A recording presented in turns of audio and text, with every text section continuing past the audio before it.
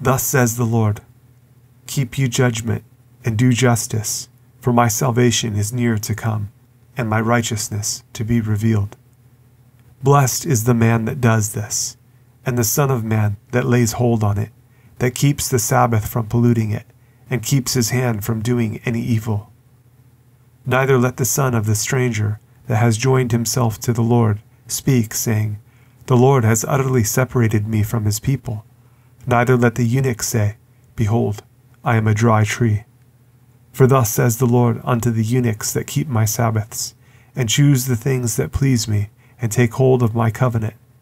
Even unto them will I give in mine house, and within my walls, a place, and a name better than of sons and of daughters. I will give them an everlasting name that shall not be cut off.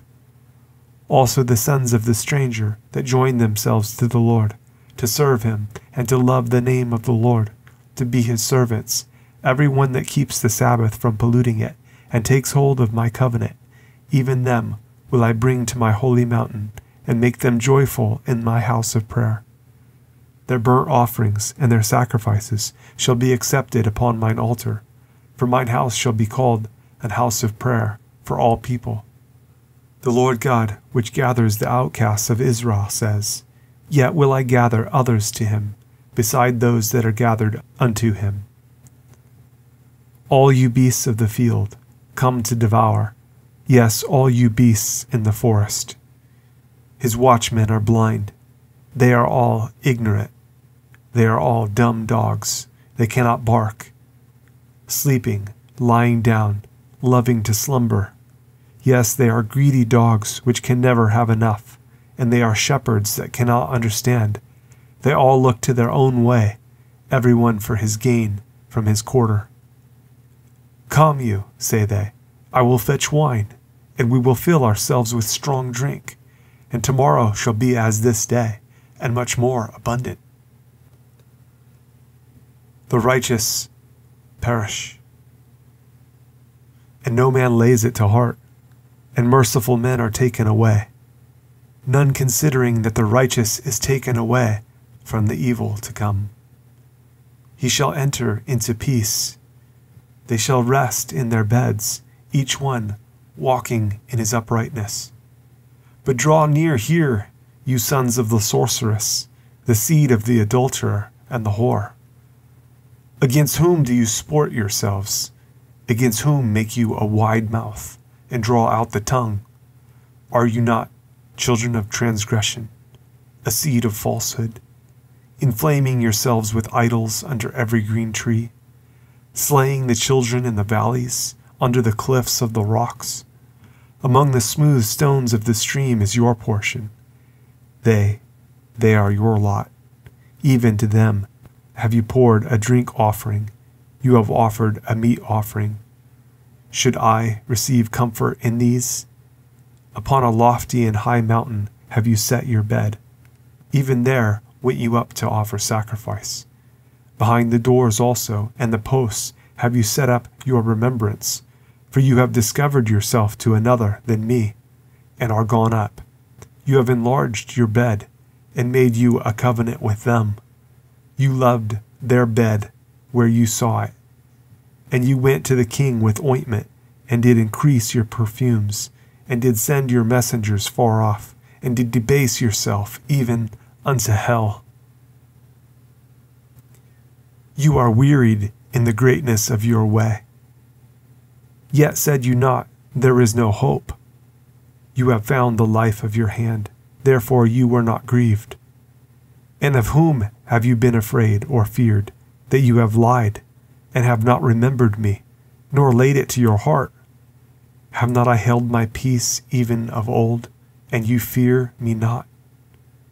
I will declare your righteousness and your works, for they shall not profit you. When you cry, let your companies deliver you, but the wind shall carry them all away. Vanity shall take them, but he that puts his trust in me shall possess the land, and shall inherit my holy mountain, and shall say, Cast you up, cast you up, prepare the way, take up the stumbling block out of the way of my people. For thus says the high and lofty one that inhabits eternity, whose name is holy.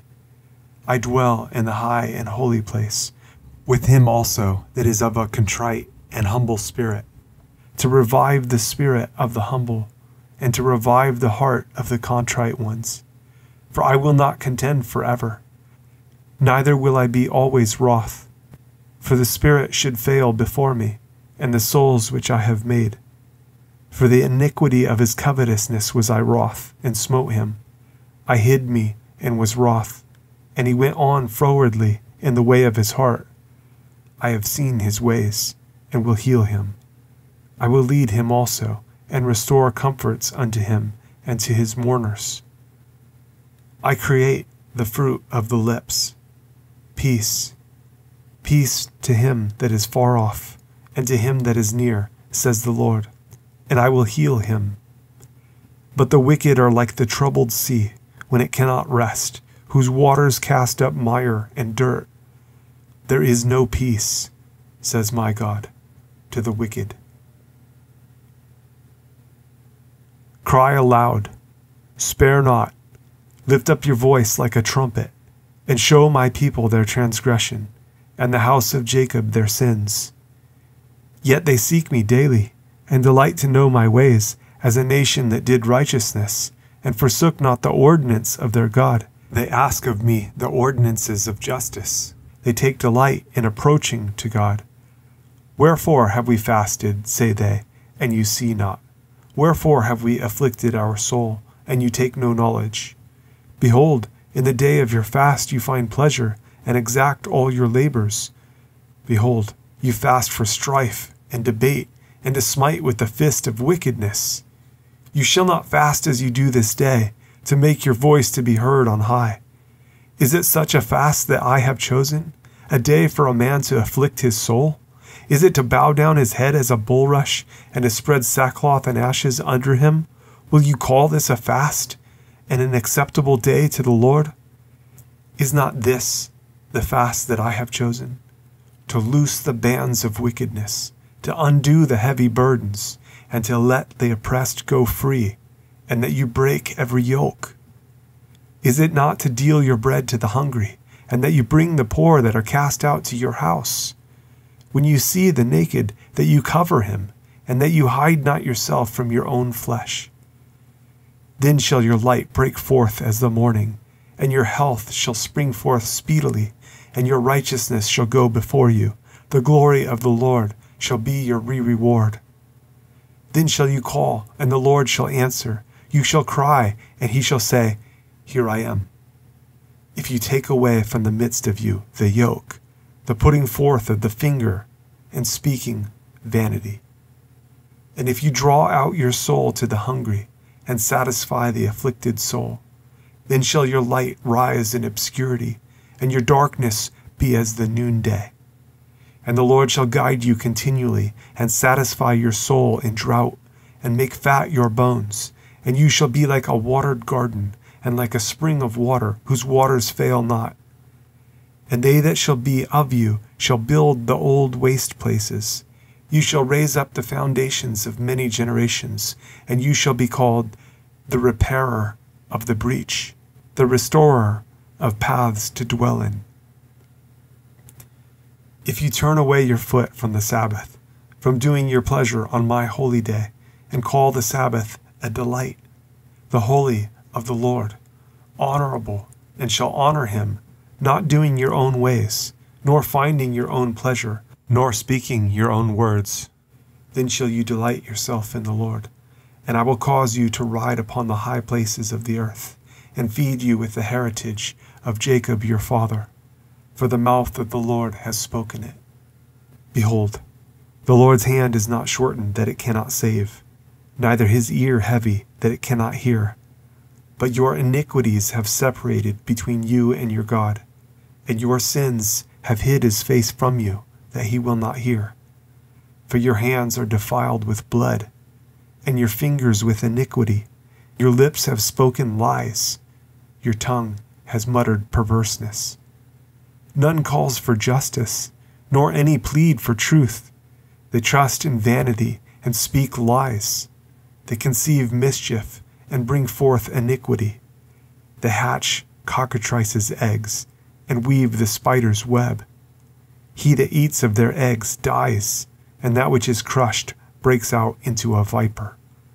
Their webs shall not become garments, neither shall they cover themselves with their works. Their works are works of iniquity, and the act of violence is in their hands. Their feet run to evil, and they make haste to shed innocent blood. Their thoughts are thoughts of iniquity, wasting and destruction are in their paths. The way of peace they know not, and there is no judgment in their goings. They have made them crooked paths. Whosoever goes therein shall not know peace. Therefore is judgment far from us, neither does justice overtake us. We wait for light, but behold, obscurity, for brightness, but we walk in darkness. We grope for the wall like the blind, and we grope as if we had no eyes. We stumble at noonday as in the night. We are in desolate places as dead men. We roar all like bears and mourn sore like doves. We look for judgment, but there is none, for salvation, but it is far off from us. For our transgressions are multiplied before you, and our sins testify against us. For our transgressions are with us, and as for our iniquities, we know them.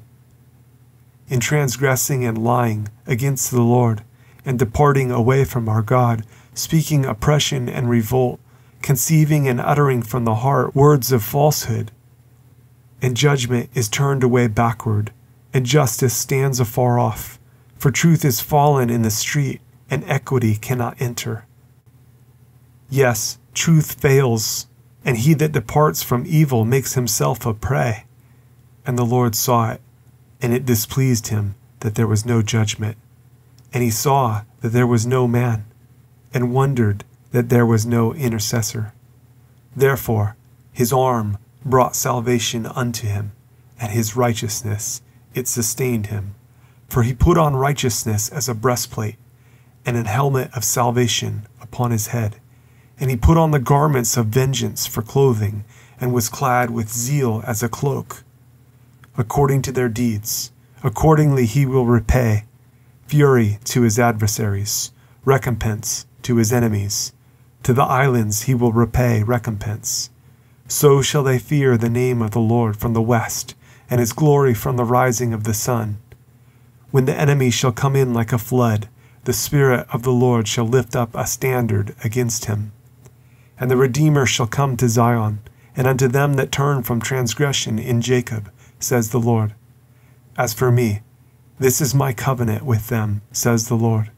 My spirit that is upon you, and my words which I have put in your mouth, shall not depart out of your mouth, nor out of the mouth of your seed, nor out of the mouth of your seed's seed, says the Lord, from henceforth and forever.